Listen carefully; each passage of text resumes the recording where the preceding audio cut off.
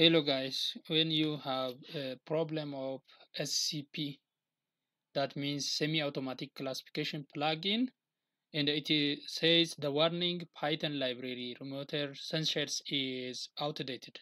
This could cause errors. Please update Remotior Sensus. So uh, the message uh, is clear. So you have to go to your browser and search for semi-automatic classification plugin like this and from the option that here is it is second option. It says one introduction semi-automatic classification plugin.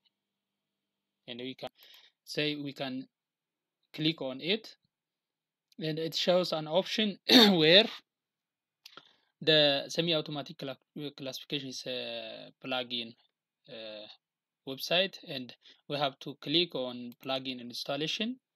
Then from the plugin installation we have to select installation of record dependency. From this we have to uh, check here it says the required dependency. Here is the the options. There are two options. One is says PIP3 install upgrade remote air sensors or sensors. So we have to use this one by copying. Let me copy this one and I have to search on the Windows search button.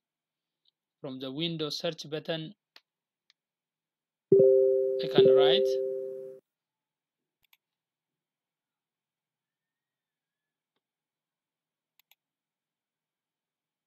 So here OSGeo4W shell, which means open source geospatial for Windows shell.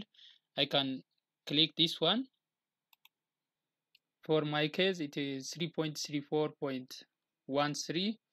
It's a version for QGIS. And here I can paste and I can use only the enter button of the keyboard. Maybe it takes some times.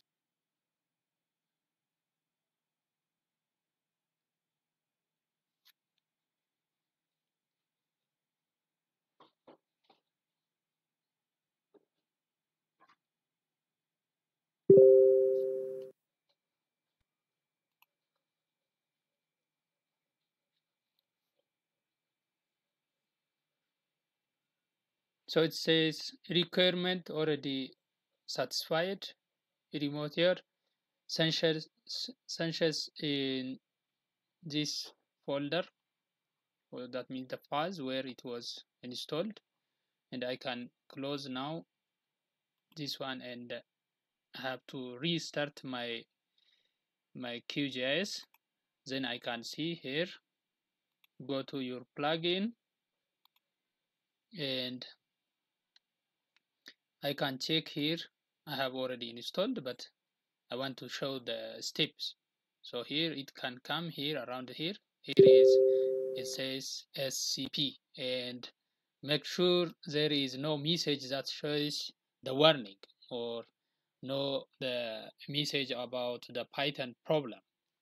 Thank you for uh, following. Don't forget uh, to subscribe my channel